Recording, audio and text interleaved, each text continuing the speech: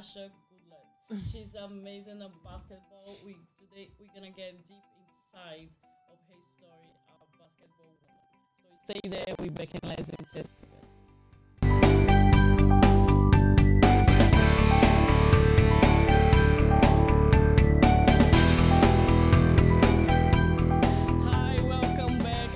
I say well your name. I I, I think I didn't. As uh, Sasha Goodlett. Sasha Goodlett. Sasha Goodlett, thank you so much to be here.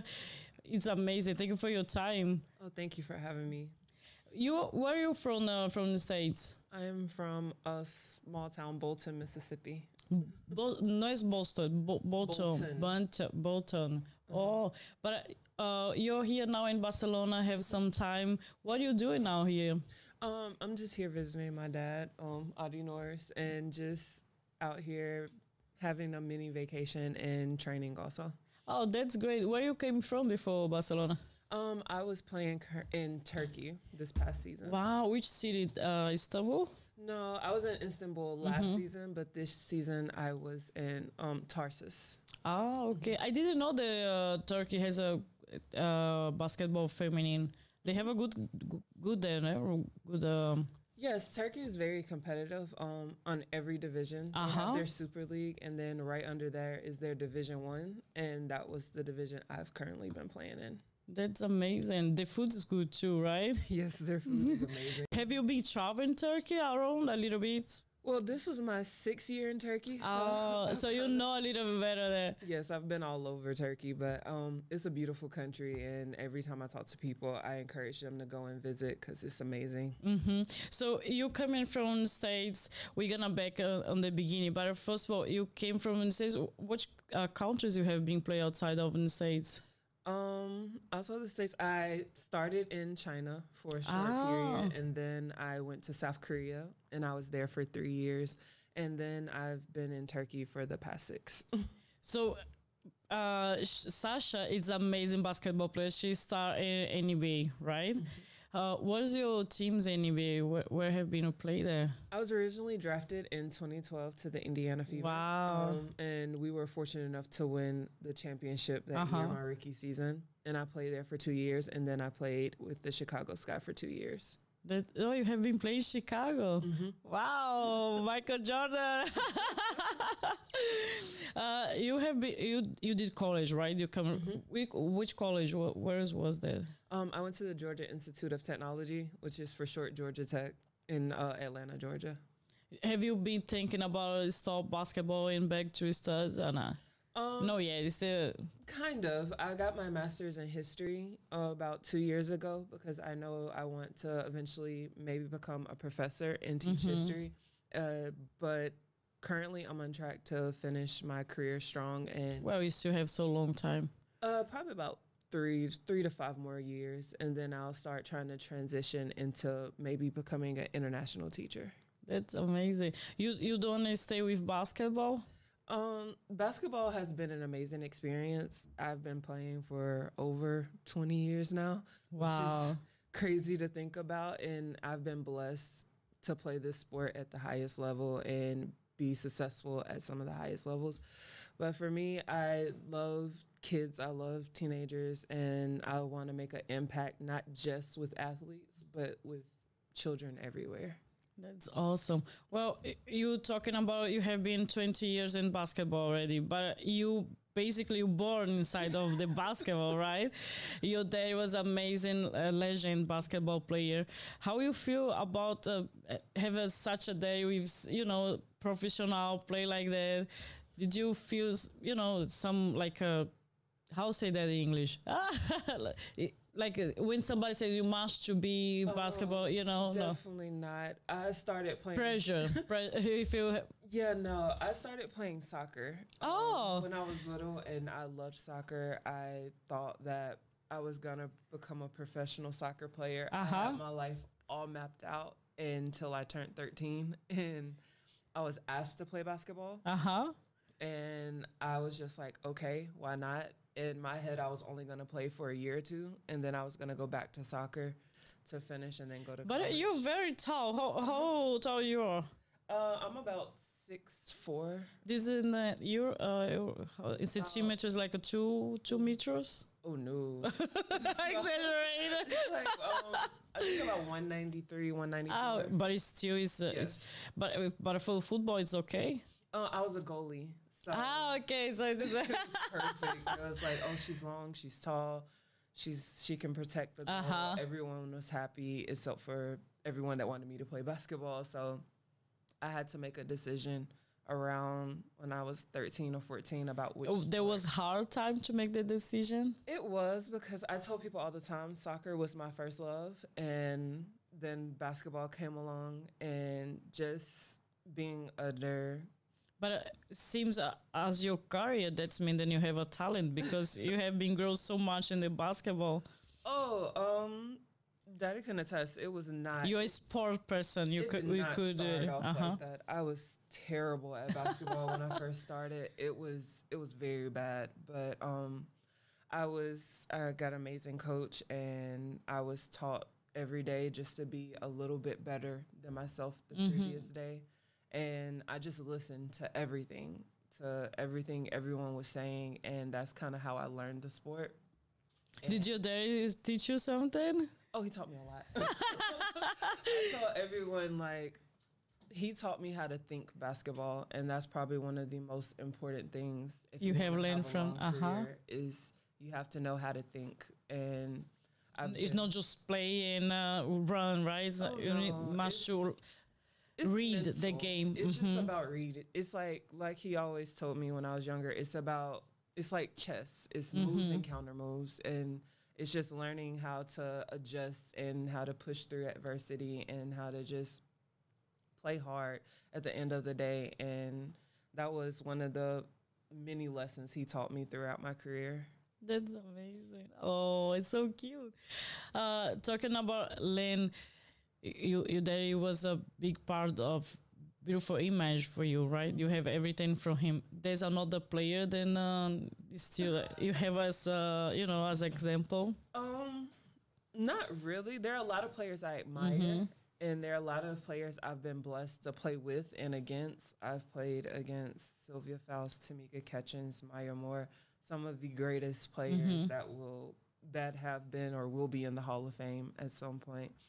And I've learned a lot of lessons from them, but I would have never been put in that position had I not learned all the lessons I learned Mhm. earlier on from my dad. So I tell him all the time, like, I'm, I am in my career because of you. And whenever I talk to people, I let them know, like, this is where I learned basketball from. And this is where I learned how to develop a love for this sport. That's amazing. Well, I have uh, sometimes here uh, basketball players, men's, and it's kind of different uh, game, right?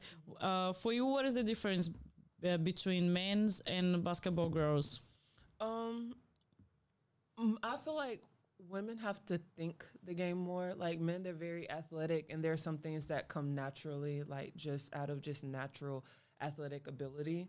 And with women, sometimes we have to figure out and think a little bit harder how to make something happen.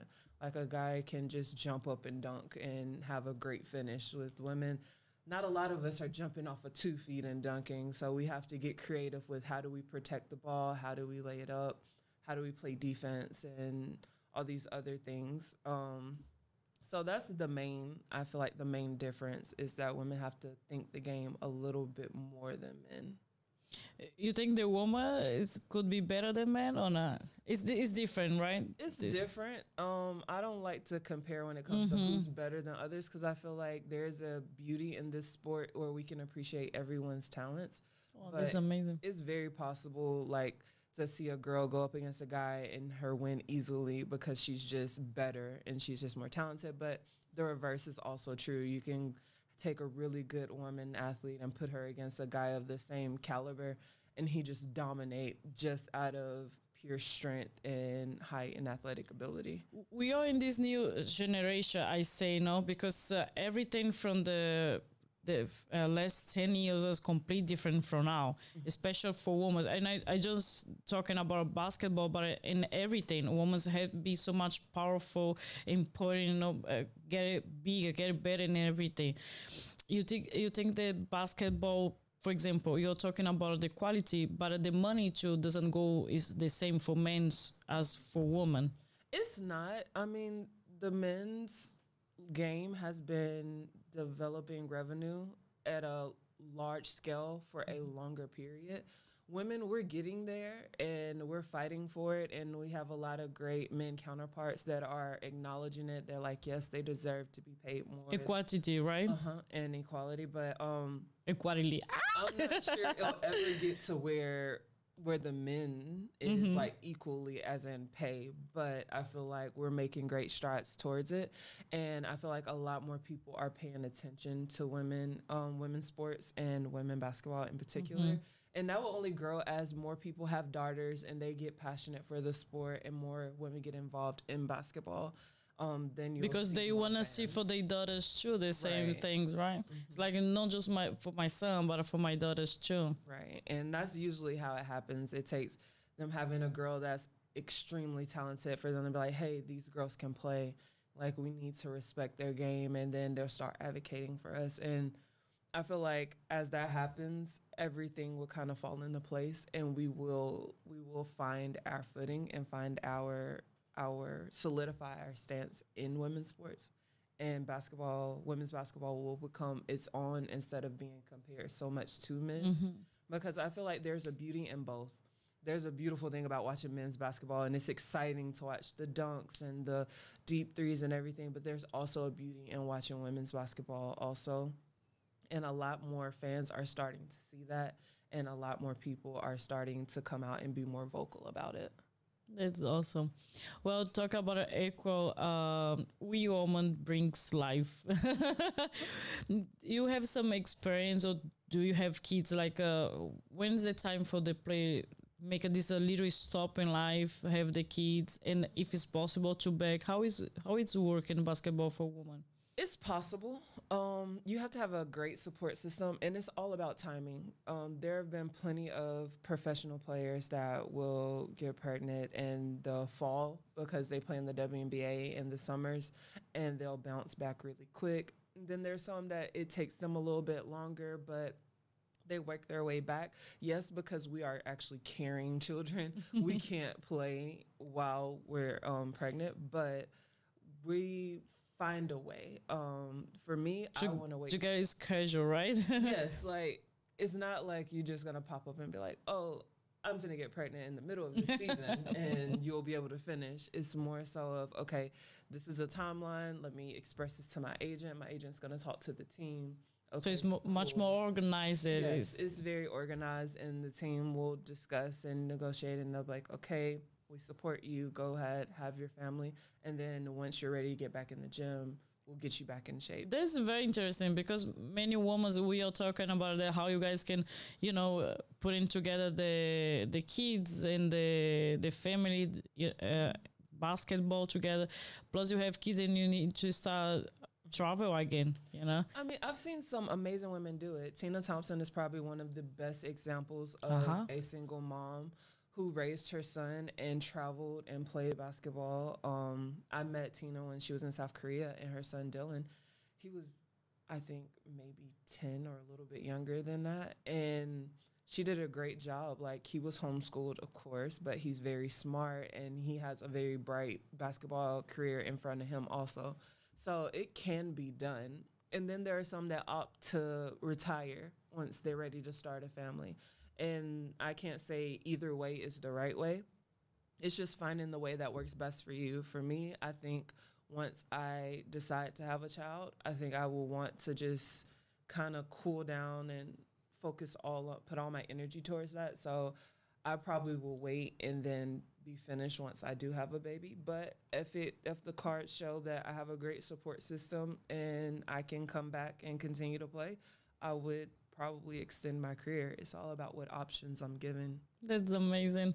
Talk about uh, we not talk about the finish, but when you thinking about that, have you think about one city that you would like to live? Yes, um, I used to joke. Barcelona. I, I joke with my mom all the time because I'm like, okay, because she's just when are you gonna retire and come home? And I'm like, okay, I might retire, but the come home part. Um, but no, I love Barcelona. It's not gonna happen. I love Turkey. I love traveling. Mhm. I would love to go and see different countries. And like I said, eventually I might teach internationally. And who knows what country that would take me to to stay. you like to discover still things. Yes, I love like I love just going and visiting new places and figuring out like how their culture is and how they operate and do things. Um, I'm a history major, so I love anything history related, and European history is gorgeous with the historical attractions, the museums, everything. Talking about Europe and States, let's back to basketball. How you feel the basketball from Europe to UN States? Uh, how is the difference? How you feel? You you must to get in the learn a little bit the, the difference too, right? Um, I feel like basketball in Europe, the fans are so passionate and they're so supportive. Like they ride for their team. Like if this is Barca, then it's like, okay, Barca's my team. Nobody else. I don't care if they're having a bad season, a great season. Like this is who I'm rocking with. And even in Turkey, like whatever city I've been in, the fans have been nothing but nice, supportive, loving, and they show up and they cheer hard. And Europe, that European culture, it's more like family, like with their fan bases. It's like, okay, we're good. We're all a family here. Welcome to our city. We invite you with open arms. And in America, it's getting there as like you know the attraction for women's sports is growing and as we get more attention through social media and all these other vices and it will get to there hopefully but there's nothing like european fans No, I, I was thinking it was different. Like I have been seeing games on YouTube, TV. Was full, com- a lot of people watching. yeah but i'm It's- talking about like every game Ah, okay. like yes now the like the arenas will be full in america Mhm. because it's the nba championship uh huh. or it's the playoffs Ah, okay. But in Europe, it could just be a Every regular game. Ah, okay. and people are showing up, and fans are being loud. No matter who they're playing against, they're Mhm. that supportive of their Oh, team. okay. That's and awesome. that's like that's the difference. But it's also like very. It's a it's a beautiful sight. Like I tell people all the time, if you can get to Europe to experience a game, a basketball game, a soccer game, it doesn't matter what sport it is. If you can come and see that environment, you will you will definitely appreciate. it. Well, you you still like uh, football? Yes, yes. We went to the football game um this past weekend. Uh-huh. Absolutely. Who won? it. Barca. Barca. Oh, thank you, God. Of course. I don't know how they go in the to uh, this season. I don't know. I I like football, but it's not like uh, I don't see the points. You know, I, I don't know how they go. So I hope Barca goes well. So you watching Barca? How many goals they did? Oh, they scored three. Oh, oh that was good game. Yes. Yeah, I love to see games like when they have you know some uh, action because Mm-hmm. otherwise it's just like You're just sitting up. yes, I just appreciate football. Like the passion, the sport, the running, the all of it, the feel. it's very physical it's to an be. amazing. Yes, it's very taxing on their bodies, but it's just an amazing like sight. I just love the game. Once you're in, uh, in Spain, Barcelona, what's your favorite food here? Ooh, there have been so many. Do, do you like fish? I do. I love. Oh, fish. that's I good. love seafood. I No, love, so uh, many Americans like fish, huh? Oh, I love calamari. It's Oh, um, I love octopus. Like any type of seafood, I will try. you're you're familiar with Spanish food? Um, Paella. I've had paella. Paella is amazing. You can never go wrong with paella. Um, and there are a couple other dishes that I really do not want to kill the name of, so I won't try and pronounce them. But I've just been trying different foods. Mhm. As you know, um, there are a lot of foods I haven't tried this past weekend. I tried duck for the first time, and it was Mm. really good. And um, The French people know how to cook uh, duck with the sweet sauce. Yes, but um, I haven't. You didn't like it. Oh no, I love duck. I- okay. I, loved it, but I was like, I The couldn't say that. Chinese are doing a very good uh, duck. Yeah, I wasn't there long enough to. you I didn't was try there that. Maybe like three months, and I was like, okay, I have to go. Oh, I Oh, didn't have the best experience in China, even though I'm I so sorry like about that. It happens. Every that's Mhm. one thing. Every professional that plays overseas, they have one season where it just it just doesn't work out. And it's sad to see. And you must to move it's a on. part of the business, and you must move on. You wish everyone the best, and you just go to the next. Well, what is your next now? Where are you going? Uh, currently, I don't know. So you just you enjoy the summer time and have fun. yes, I'm just enjoying the time here spent with my family, and I'm just enjoying going to these places, going to the games, and training and working out. I really recommend if you can go uh, to Costa Brava. It's a beautiful beaches over there. Oh, It's amazing beaches. So you stay here in Barcelona for uh, how long Yeah, to the end of June. Oh, that's great. You still have a lot of time. Enjoy so much your visit here. Thank you so much to be here too. That's, I appreciate your time. I'm sorry for my English. I'm getting better, I promise. It was perfect. It was fun. Thank you for having me. This was actually my first podcast, so it was a great really? Oh, Yes. that's awesome. I did many, many. So you're the first ones too. uh, the first one was with Dolores. It, she's with you there, right? So Yes. There were there ones that I needed like a couple times repeat and repeat again some stuff, but it was amazing. But anyway, thank you so much to be here, guys. Thank you for watch. I see you in the next episode. Don't forget to follow us. Do you have some on uh, Instagram that you like I to do. people? I have an Instagram account. It's um at Somalia45, and that's what I'm I'm gonna put in the link here in the top or whatever here. you guys gonna see over there. Don't forget to follow her and don't forget to support sports. Doesn't matter if it's kids, women's, men's. Always sports is the best in life, isn't it? Yes. Thank you. Bye.